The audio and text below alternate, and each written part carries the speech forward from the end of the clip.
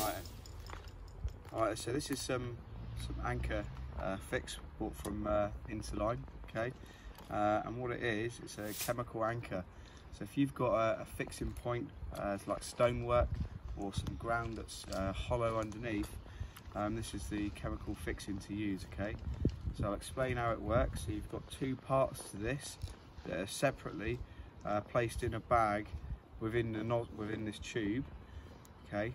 Um, sometimes different types you get two tubes that mix into one but this one allows you to use it in a standard skeleton gun okay? So two bags within this you cut the bag on the top okay? Take the um, little cap off there that you can use it again and again if you put the cap on okay?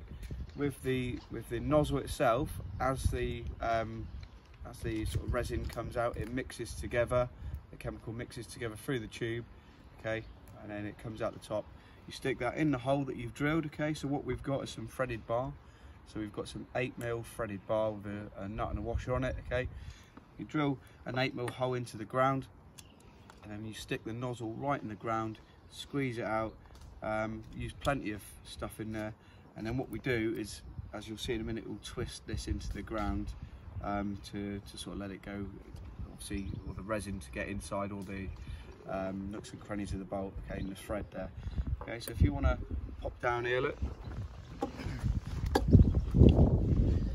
Okay so what we've got is a situation where we've had a, uh, got a, a poor uh, sort of uh, level of fixing underneath. We've got um, some chippings down but on top of that um, beneath that we've got some uh, some tarmac and the tarmac is old uh, and there's not much to it. So beneath that is some just hardcore and stuff.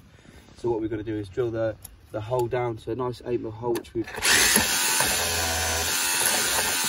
already drilled. Make sure we've got a nice um, get all the debris out so it's not fouling the bolt as it goes in. And then what we're going to do is like I said before um, you squeeze the nozzle right into the hole and stick that right in there. Um, one thing to note as well, when you first start to use it, you will get a bit of excess.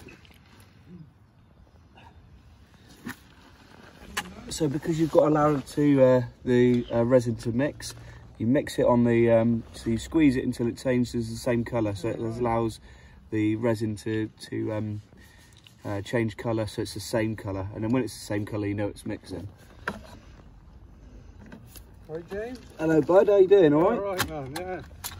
It's a nice day to do this, isn't yeah. it? Right? Everybody's very impressed with these, mate, I tell you. Good. That's what we like to hear.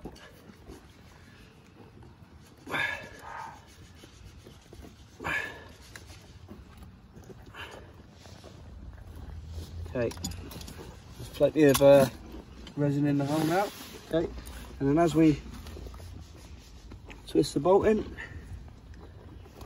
and make sure we twist it in in fashion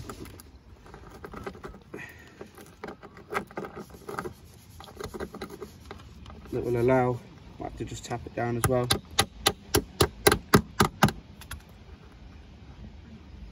and that's pretty much it plenty of resin in there um, as you can see the fixing isn't amazing as it goes in but at least it'll act, act as a bit of an anchor um, to keep uh, the benches in place.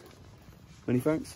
Amazing as it goes in, but at least it'll act, act as a bit of an anchor um, to keep uh, the benches in place. Many thanks.